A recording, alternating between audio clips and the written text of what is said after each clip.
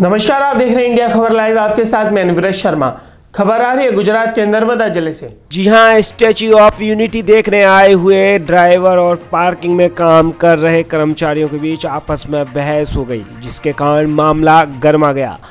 गाड़ियों के ड्राइवर और पार्किंग विभाग के कर्मचारियों के साथ आपस में बहस होने से सभी ड्राइवर इकट्ठे होकर स्टैच्यू ऑफ़ यूनिटी के केवड़िया कॉलोनी की कचहरी पर अपनी मांग को लेकर गए। हमारे संवाददाता ने स्टैच्यू ऑफ़ यूनिटी पर आए हुए गाड़ी चालकों और पार्किंग एरिया में काम कर रहे कर्मचारियों से बात कर पूरे मामले की पड़ताल की। गुजरात, नर्मदा से गौतम भाई व्यास की एक रिपोर्ट। इस वक्त हम यहाँ पर केवड़िया कॉलोनी में आ, उस जगह पर खड़े हैं जहाँ पर प्रतिमा होटल का निर्माण किया गया था और वो अभी तोड़ दी गई है प्रशासन तंत्र द्वारा। आप हम यहाँ पर पार्किंग में आए हैं हम पार्किंग में आपको दिखाना चाहेंगे। यहाँ पर आप वीडियो में देख सकते हो यहाँ पर एक पार्किंग का बोर्ड लगाया हुआ है जिस पर गाड़ियों के रेट लगे हुए हैं कि किस तरह से पार्किंग चार्ज लेना चाहिए आइए हमारे साथ यहाँ पर पार्किंग में आप देख सकते हो वीडियो में कुछ गाड़ियाँ भी यहाँ पर मौजूद है। हम उनके ड्राइवर से पूछने का प्रयास करेंगे और उनसे जानना चाहेंगे यहाँ पर। जी क्या नाम है सर आपका? आपने यहाँ पर पार्किंग चार्ज दिया है? तो कितने समय से आप यहाँ पर खड़े हो? और भी यहाँ पर कुछ गाड़ी वाले लोग मौजूद हैं हम उनसे भी जाने का प्रयास करेंगे। ड्राइवर बोलना चाहते हैं। यहाँ पर एक ड्राइवर हमारे साथ मौजूद है हम उनसे भी जाने का प्रयास करेंगे। भाई बोल। जी क्या नाम है सर आपका? मौलिक।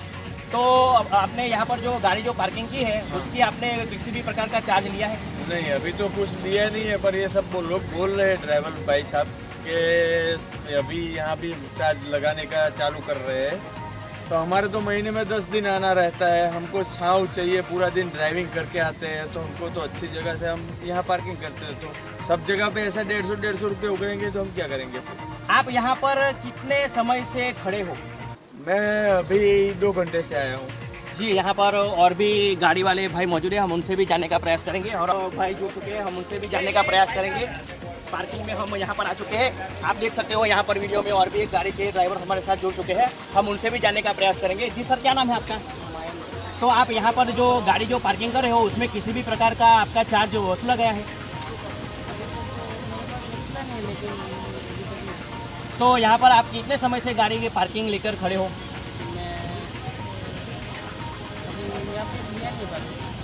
आ, कि, कितना टाइम हुआ यहाँ पर आप? आप कितने समय से यहाँ आ रहे हो? चार महीना छः महीना साल भर? दो साल दो साल आपको मालूम है यहाँ पे पार्किंग का चार्ज लेने वाले हैं? ये नहीं पता।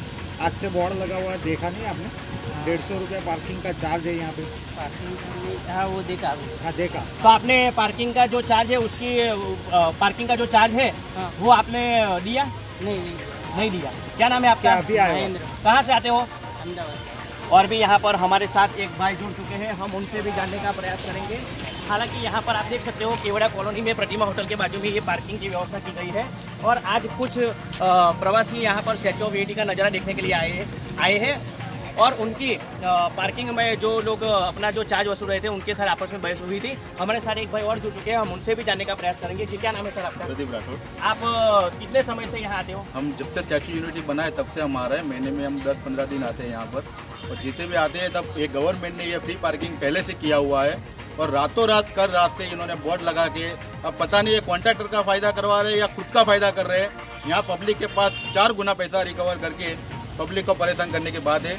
और आज तक कभी यहाँ पेमेंट नहीं दिया फ्री पार्किंग गवर्नमेंट ने खुद फ्री पार्किंग बोर्ड लगाया हुआ था। तो आज कल रास्ते क्यों लगा? उसका हम जवाब मांग रहे हैं तो हमको बोल रहे हैं कि आप गवर्नमेंट की बातों में आके आप डिस्टर्ब कर रहे हैं तो आपको हम पुलिस के अरेस्ट करवा देंगे। जी सर यहाँ पर आप देख रहे हो यहाँ पर पार्किंग का बॉल लगा हुआ है जैसे कि यहाँ पर अलग अलग जो साधन है उसका चार्जेस बताए गए हैं। तो आपने यहाँ पर अभी जो गाड़ी पार्किंग की है तो हाँ। उसमें आपने पार्किंग का चार्ज कितना दिया? मैंने पचास रूपया दिया लिखा है डेढ़ सौ आपके पास उसके कुछ पुरावे हाँ, है? पर्ची है मेरे पास जो पचास रूपए मैंने दिया है। तो आप दर्शकों को दिखाओ दर्शक भी देखना चाहते हैं कि किस तरह से पर्ची दी है यहाँ पर आप वीडियो में अंदर कोई भी उल्लेख नहीं किया कि किस जगह का पार्किंग है।